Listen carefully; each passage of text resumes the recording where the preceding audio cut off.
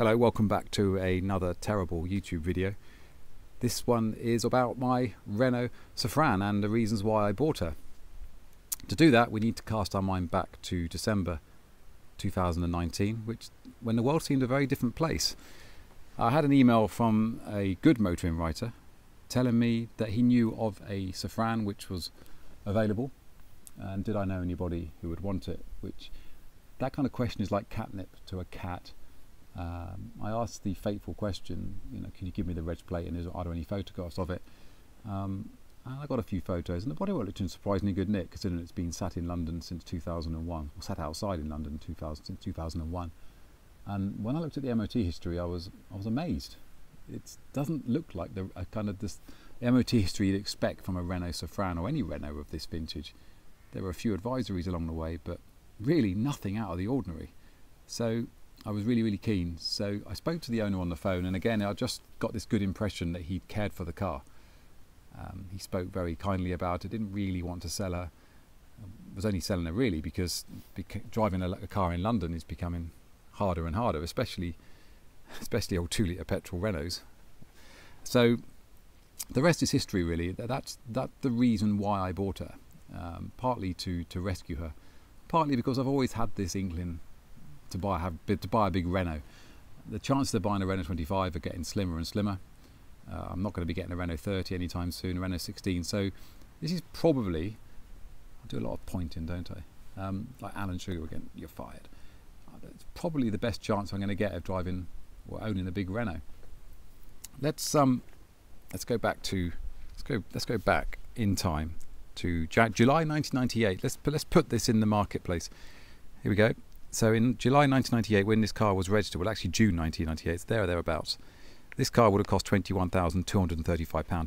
I don't think the original owner paid for that. I think it was a fleet car. The mileage, it would certainly suggest that the first three years were motorway miles.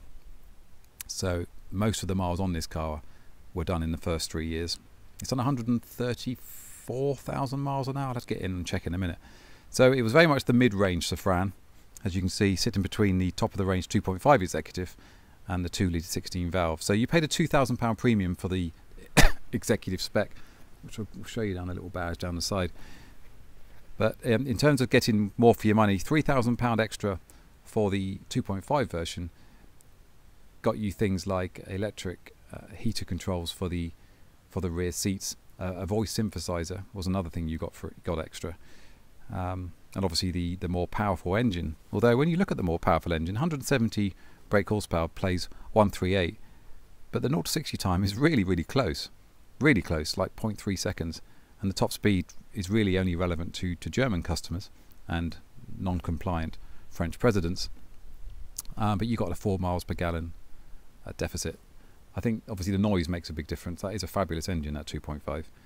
Um, but beggars can't be choosers, especially in this day and age. And it's interesting reading the car magazine's verdict. Massive inside, very smooth, very quiet, theoretically good value. But of course, the biggest thing was vast depreciation and no fun. I don't think many people would have bought a Safrane looking for fun. I suppose if they did, they would buy a, they'd probably buy a 5 Series, a much more expensive 5 Series. Hopeless new, used, lots of barge for the franc. Two stars seems a bit harsh with hindsight, um, but big Renaults, well, they weren't, any big French car of the time weren't really loved. Um, interesting that, and that's about, um, that was the Ford Kuga. An interesting article there where they took a Capri to Monaco, which is always good. Uh, another good another good point behind this car is the service history. I'm not going to go through it because of data protection. Um, there's lots of lots of addresses on there, but the service history is again. Have I used the word phenomenal yet? This is phenomenal.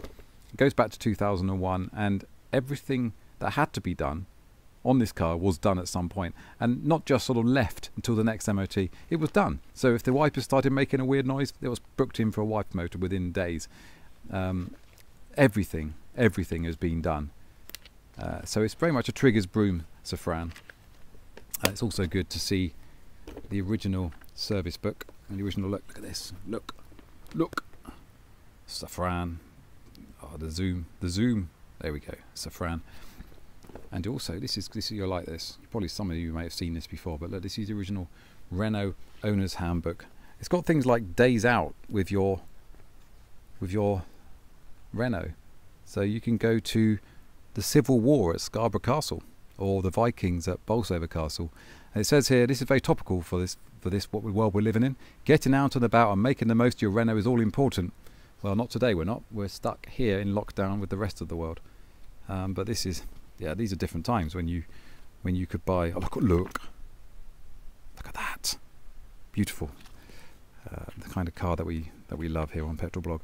And that's it's quite weird. You and your Renault, grand days out. In February, they must have had nothing because they had some Valentine's Day, Shrove Tuesday, and Ash Wednesday, which I don't know what that got to do with your car. But then when you get to December, they haven't mentioned Christmas, just the Oxford versus Cambridge rugby union match. Some very strange decisions to do with your Renault. Uh, and also, I want to show you this. Look, the original. Look at that. So yeah, it's all in there. All the original books, all the original history, um, and that's the kind of thing that that well, I know, I know readers of Petrol Blog, viewers now viewers of Petrol Blog will appreciate. Um, but we'll put that away. What you want to see really is the car, don't you? I've put the car in the in, in the barn just because it's quite windy, um, so it could interfere with things. But there we go. She's been washed this morning for the for the video. In answer to David Austin of Lobs, oh that's terrible. That's sunlight. In answer to David Austin, no, the lights aren't yellow yet. Well, they will be. Um, that'll be done during the lockdown at some point. So, moving on. I know at some point, because the service history told me, it's had a it's had a respray bonnet.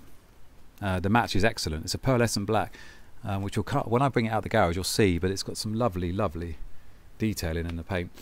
So it's been painted at some point, which I'm guessing would be for stone chips, bearing in mind the mileage. This is a nice, nice thing. I like this the little executive badge there. Um, I've done the I've done the black today, and I'll show you what I use for that in a bit when I take it out because it's really good stuff. You need rubber gloves, which will come on to in a bit, but it's really good stuff. Uh, so what I've done since I've bought her is just sort of polished the paint back one layer and just given it a layer of wax, and as you can see, it's really really good. Very very few ripples in the paint, very few dents. There are a few. I just saw one there, just see it, but that's understandable. And to be honest, I don't care about that sort of thing anymore. Um, I used to; those sort of things would worry me. They don't anymore because it's, it's, a car. It's going to have war. It's going to have war scars. It's going to have battle scars, and it's all part of its character. It's part of its heritage. A bit like the bullets on um, Elaine Beige. Um, the back, the back is an absolute win. Look at it. It's just beautiful the way it's come up. Phenomenal, really, because it's been stuck outside in Clapham since 2001. The paint is absolutely amazing. Again, the original Fish Brothers dealership in Swindon. Things are pretty good down this side too. There's very few blemishes or marks down the paintwork,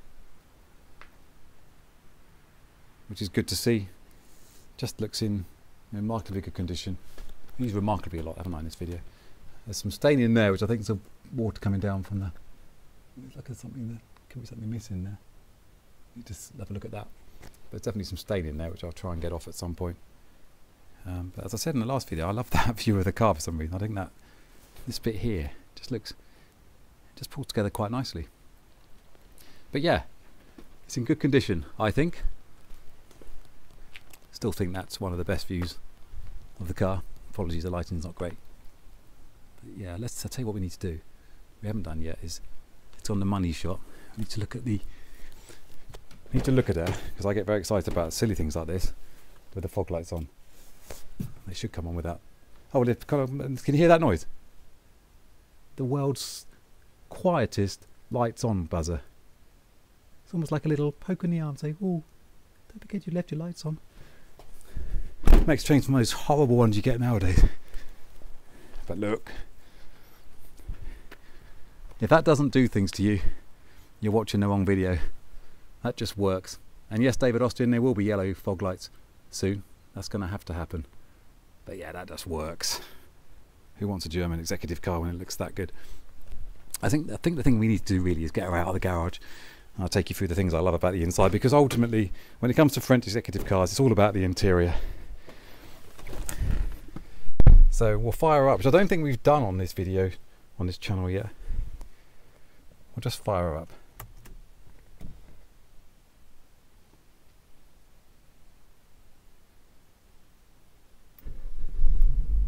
There we go. Where you pray the lights go out, which they do. So you got so 134,550 miles. Who says French cars are unreliable and dead by the time they get to 100,000? So it's in the open. Lighting's going to be pretty bad now, isn't it? I'll go back a little bit. I'll get a little bit of shade.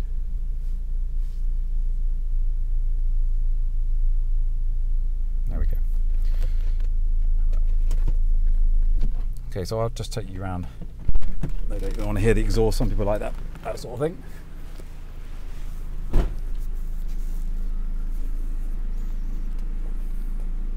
You got to love frosted glass, frosted lights, smoke lights. Look at that.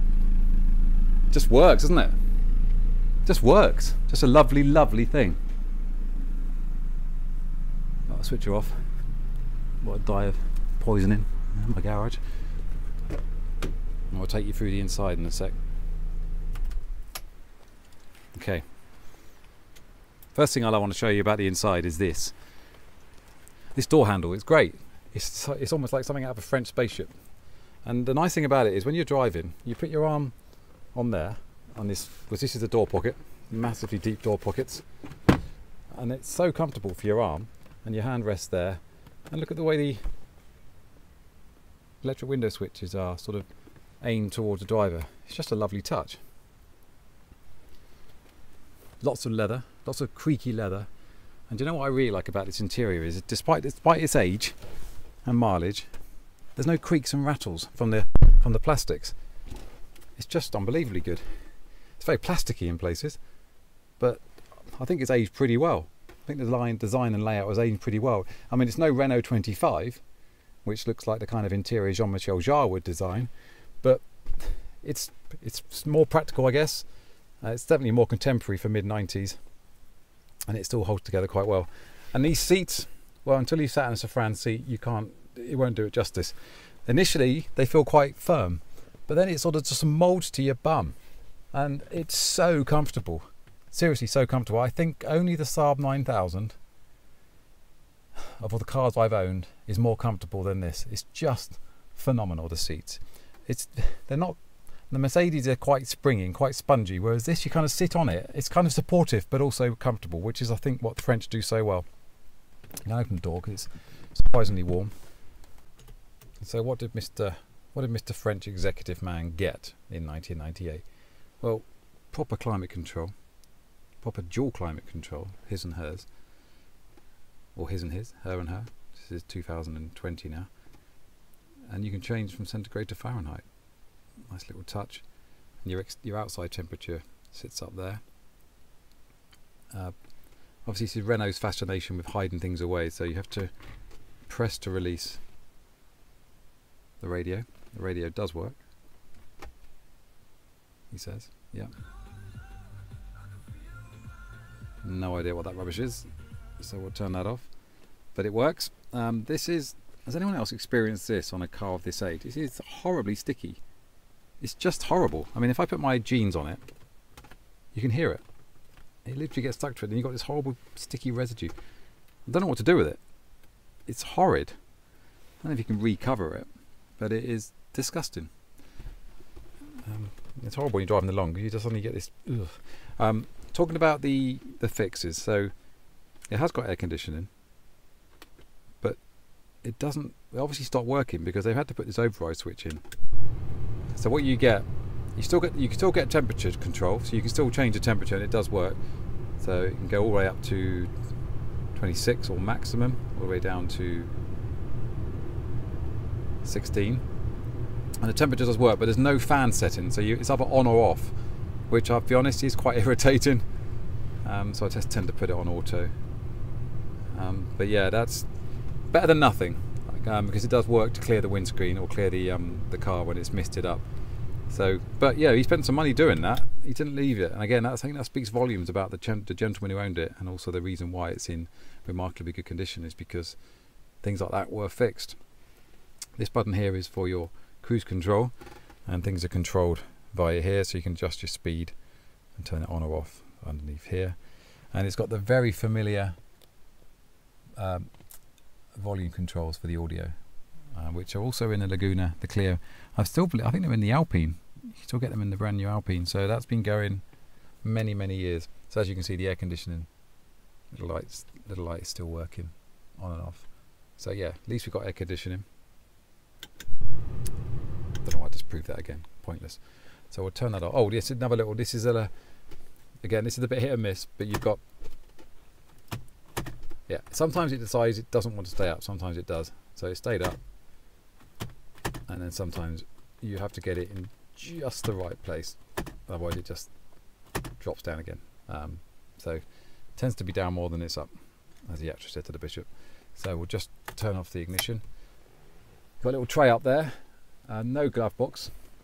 Uh, so you've got door pockets and door bins instead, and slightly loose. I haven't got any mats. If anyone knows of any Safrane mats, um, I'll be great, grateful. You do get a map pocket, which I think is for a map pocket. I suppose you could put your mobile phone in it now, put your smartphone in there. Used to have something here. I'm probably, what do you think? Car phone cup holder, maybe? Because there are no cup holders in 1998 in a Safrane.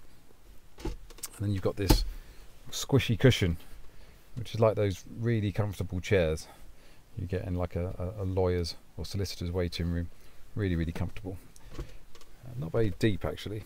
you might like this. Um, one of the things I noticed for well, after I bought it is there's plenty of water in here. Despite filling, despite clearing the drainage holes on the sunroof, there was plenty of water underneath this mat, and I think it's been pulled up before, so it's obviously been an issue before.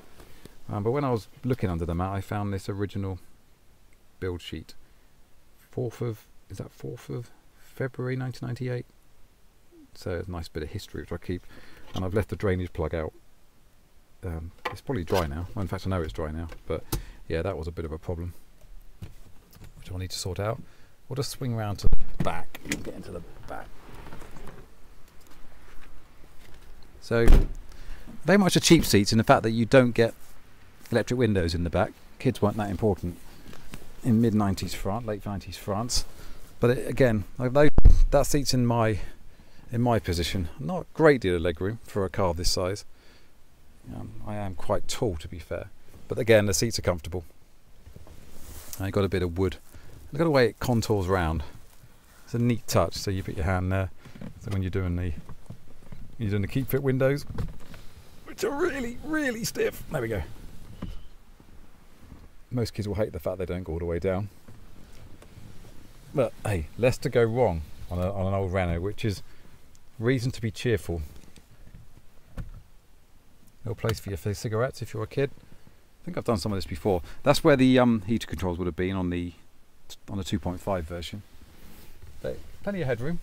I do like these do like these as well. These adjustable headrest head restraints. But yeah, it's properly posh in the back. It feels nice. It does feel nice. Not sure if I'd want to sit. God no, I wouldn't want to sit here too long. You feel quite high up. But look at that. Look at that interior. That's beautiful. I'm going to take a photograph of that as a video.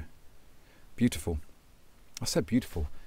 We, we ought to do petrol blog word bingo. Phenomenal, fabulous, beautiful. Words I use too much. Uh, we'll jump into the boot. I just realised I said jump into the boot. I'm not about to do that, but I am going to open the tailgate. And one thing you'll notice immediately, be careful here because there's not much room here. One thing you'll notice immediately is it is a hatchback. Whereas most executive cars of the era were saloons, this is very much a hatchback, which gives you a huge amount of space to load things into. Really, really heavy, by the way, heavy tailgate, but loads of space. Uh, two things I want to show you. This is a godsend if you've got any car with a sunroof of this era. It's a little squeegee thing for cleaning the windows. That's been a godsend over the winter. I recommend that. And the, the black stuff I told you about, I recommend this stuff. I can't remember how much it costs because I got sent some of it to, to review. I don't think it's cheap. I'm thinking sort of 15, 20 quid. But you don't need a lot. But you do need yellow gloves or rubber gloves. Any colour will do. But it does a really, really good job. Better than a lot of the cheap stuff you get in the um, in the shops. But yeah, cavernous boot, which you can't see because it's dark. But it is, trust me on this, it's a cavernous boot. Plenty for the going to Carrefour to pick up your French bread and wine. Um, I think I've waffled on too long or too much, so I think we'll leave it. I think those is that a good enough tour as a Fran? Tell me if not for the next video because I'll do something different. But yeah, that is that is Safrane. What should we do next? Camry, Mercedes? You tell me. I'm really not sure if these videos are any good, but we'll crack on because you know some people might like them. Thanks for watching. Oh, a couple of things I want to say. Um, thank you to Kenny Smith. I've I set up a um, Patreon. I am denied about. I've been I'm denied about setting up a Patreon account for for years, um, but I took the plunge this week, which is probably a really bad time to do it, bearing in mind the state the world's in at the moment. But I thought you know people might want to, to chuck in the funds if they like the content. So thank you to Kenny for being the first Patreon. It's much appreciated. Um, yeah, thanks for watching. See you soon. Take care.